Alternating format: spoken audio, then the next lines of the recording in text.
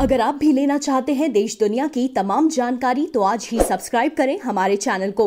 साथ ही नीचे दिए बेल आइकन को ज़रूर दबाएँ ताकि हर अपडेट आप तक पहुँच सके।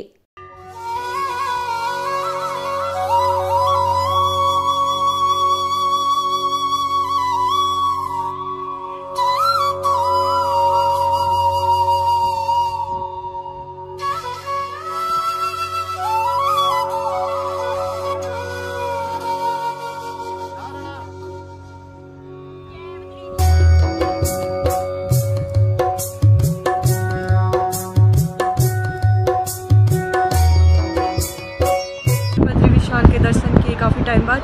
बहुत ज़्यादा खुशी हुई और हम यही चाहते हैं कि जल्द से जल्द ये कोरोना वायरस ख़त्म हो जाए और बद्री विशाल सबकी रक्षा करें।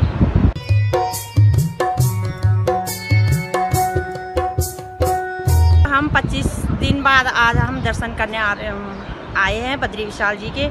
हमको आज ऐसा महसूस हुआ कि आज ही आए हम बद्रीनाथ। हम तो पहले ही आ गए थे, एक महीना पहले आ गए थे। हमने अपना खेती काश्तकारी किया, आलू बोए और अपना काम किया, पर आज हम मंदिर में आज ही आए दर्शन करने। हमको बहुत ही अच्छा लगा।